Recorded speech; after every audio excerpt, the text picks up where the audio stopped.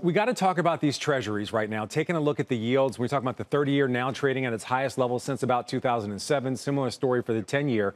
Does that change your view when it comes to fixed income and how you're advising your clients to invest? No, I think it's still, you know, the, the, the, view we've had for the past couple of months still still there. I think, as you mentioned, it's looking, you know, when you look at the move in the 30-year bond, it's looking like it's going to be higher for longer when it comes to to interest rates, um, and also uh, looking at just the way investors are thinking right now. So, so I'm looking at it from a standpoint of where we're going economically. Um, if you look at what the Fed is poised to do, I think they're looking to see unemployment rates change before they make any sort of move or change in the in the in the mandate that they've been going with so far. So, so our expectations stay the same.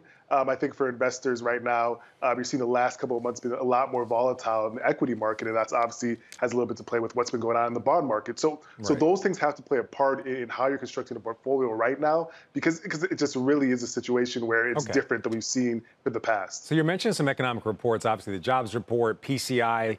Um, I mean, PCE, CPI, we're always looking at these economic reports. We actually have one that could be meaningful today. I'm talking about retail sales out at 8:30 this morning. Now, this report comes after the XRT, the retail ETF, had its best day since June yesterday. What are you expecting when it comes to retail sales?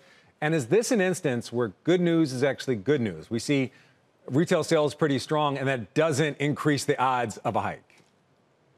Yeah, I think this will be a situation where good news, like you mentioned, it could be either good or bad. But I think we'll potentially see a strong reading here. And, and again, that could play a part in, in how the strong the consumer is right now. And the consumer has been pretty strong so far. And a weakening consumer uh, could be a situation where investors could be looking at, you know, gaining more confidence in, in, what's going on going forward. So I think that if we're looking at it from a, a surprise, either on a 0.2% increase month over month, if that changes, you know, much a bigger surprise to the upside or to the downside, that will definitely have an effect on the markets. Because again, the consumer has been strong so far. If you look at you know the XRT you know reading hasn't been that strong. Some some companies have done fairly well. If you look at Lululemon okay. uh, year to date, but it, overall, you know that reading hasn't done that strong. So really quick, I want to get your take on the Fed. So honestly, uh, when I was talking about retail sales, I was kind of thinking that it might influence the Fed, um, even though most people think we're going to see a pause coming up in two weeks during the November meeting.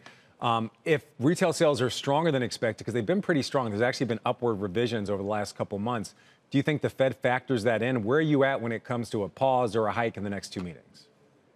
Yeah, 100%. I think the Fed factors that in. Uh, obviously, they're still factoring in, you know, all the numbers we're seeing um, on the CPI and all the numbers we're seeing on the PCE. So, so that will be factored in. And I think, you know, one thing I, I, I thought was super important for investors to, to learn right now or see right now is is what happens, you know, when we see a change in interest rates and what happens when you know we see a potential um, recession coming down the pipeline. So those are the two big things that investors are I'm actually looking at is when we'll see you know a change in consumer potentially, and this is one of the readings that will show us that, and also if we see any change in what the Fed's mandate is, because it's been strong so far, say that they're waiting for right. more data to be able to change or even pivot